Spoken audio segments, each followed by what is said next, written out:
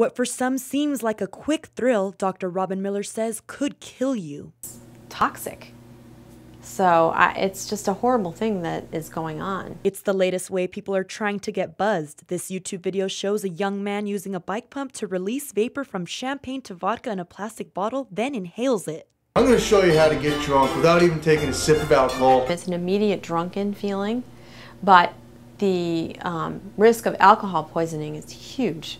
Dr. Miller says not only can smoking alcohol kill you, but it can also create long term brain damage. When you normally drink, it goes into your GI system and you feel sick when you get drunk and you start throwing up.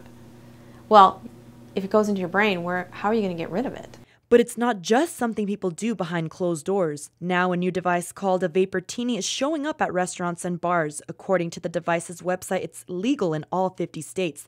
The device is a mass produced version of the homemade smoking bottle. For one, sounds unsafe. Two, sounds. I, I just don't see any part of that being around here. Craig Cosby from Four Daughters Pub and Grill says he's never heard of people smoking alcohol. Maybe bring bad business to a bar too, doing things like smoking alcohol. It may seem like it's fun and cool to get drunk, but think about the consequences long term. What's it doing to your brain?